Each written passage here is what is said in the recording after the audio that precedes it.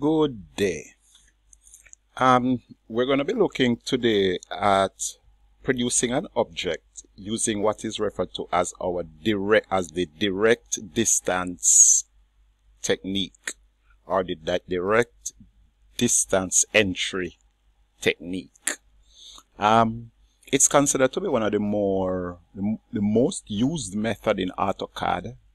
Um, but one of the things though, we would have to either know the angles the lines are drawn and it would work if these are angles by increments of 15 degrees. Alright, so to produce this drawing as demonstrated on screen, let me demonstrate, it's one of the easiest method.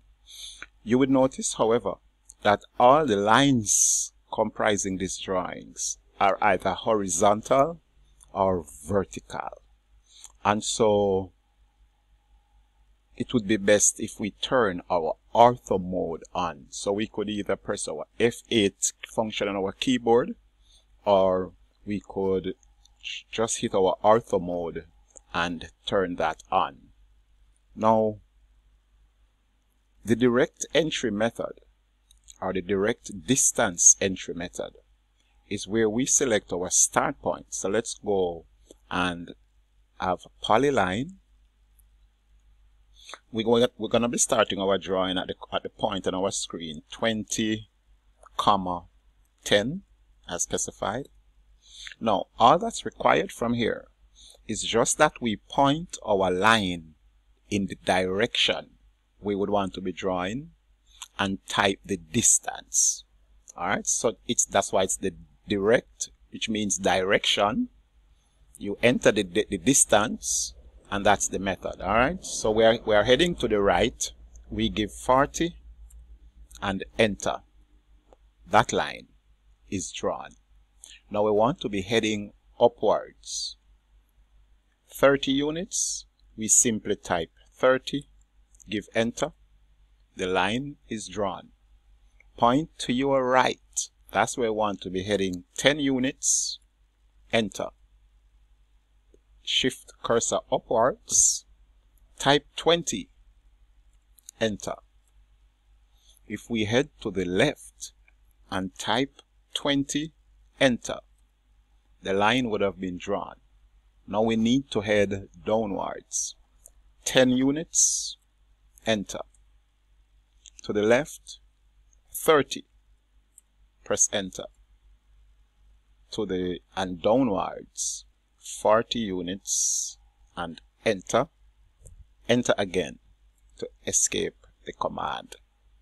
Again our drawing is produced using yet another method which is our direct distance entry technique.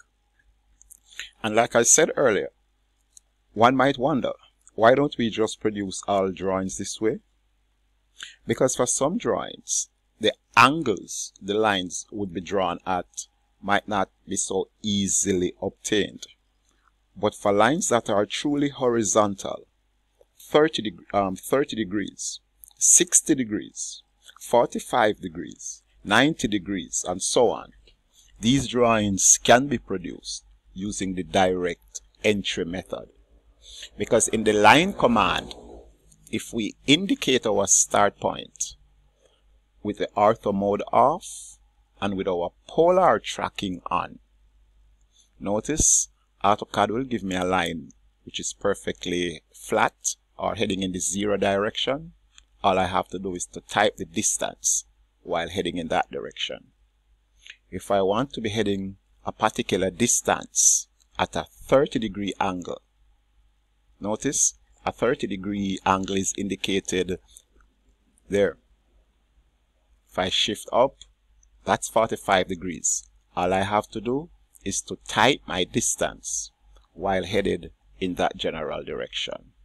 60 degrees, 90 degrees, 120 degrees, 135 degrees, 150 degrees even.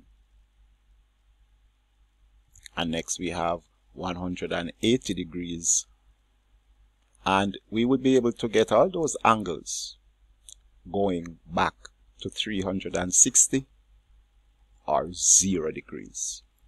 Alright, so that's a cool method and it's one of the methods that you're going to be find that you use extensively.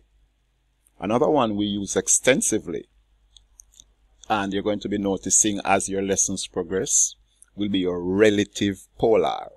So the four that you should be paying special emphasis to are going to be your absolute coordinates, your relative rectangle coordinates, your relative polar coordinates, and your direct distance entry techniques. I hope you found this video useful in the production of your two-dimensional drawings. Thanks a lot for viewing.